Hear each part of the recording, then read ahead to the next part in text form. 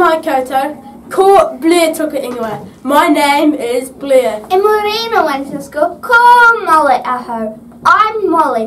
Welcome back to the NEWS News team for Ratu, the 30th of May. Let's get into Te Kupu o Te Wiki. This week's word is pangarau. Pangarau means mess. As in, we do pangarau every day. Try to use this word when you do maths today. Ka pai, high vis a reminder to wear them to and from school. Today's notices. There is a magazine meeting in the group room at lunchtime with Mr. T. There are no birthdays, but here's a fun fact. On this day in history, in 1959, the Auckland Harbour Bridge opened up. What's open today? It's the library.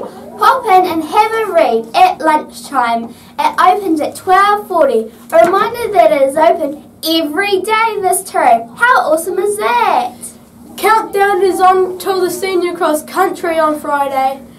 Four days to go. Get training hard, Winton School. And that's it for today from everyone here at the NEWS News Team. Te popo. See you tomorrow. Stay clean and sharp, Winton School. I'm gonna beat you!